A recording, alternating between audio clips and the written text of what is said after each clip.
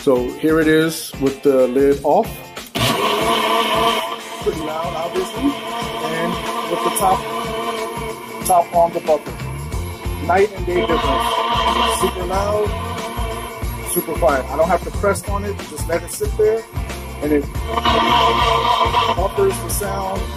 It's amazing how well it buffers the sound. It's so much quieter.